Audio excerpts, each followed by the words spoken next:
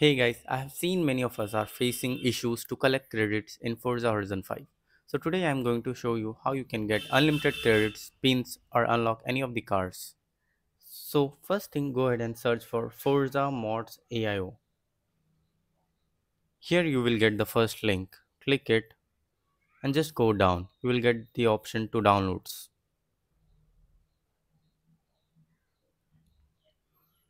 Here you will get the latest fix which is 2 weeks old.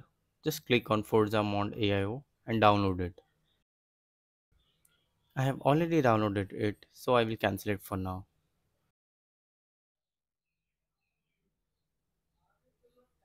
So here I have downloaded it and this is how it looks like. Let's run this application. Here you will see few of the options are grayed out. So one thing that we have to make sure that we are running this application as an administrator. After that, we just have to run the game.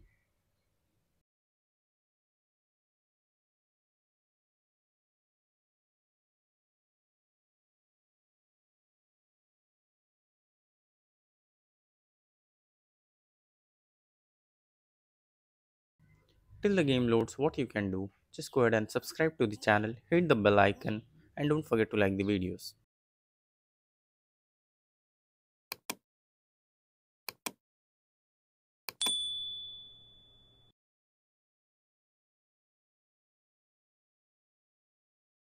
Here you can see we have 20 lakh credits for now.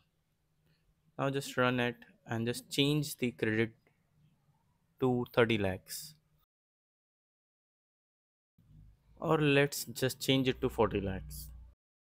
And don't miss to turn it on. And go into the option spinning wheel. Just spin for once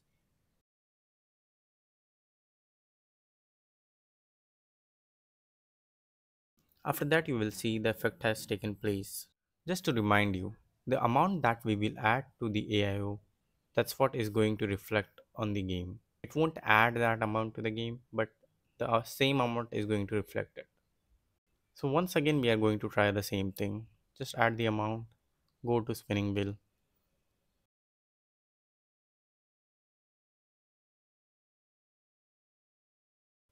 And this is how it's done and if you're looking for the direct link you will get it in the description thank you bye for now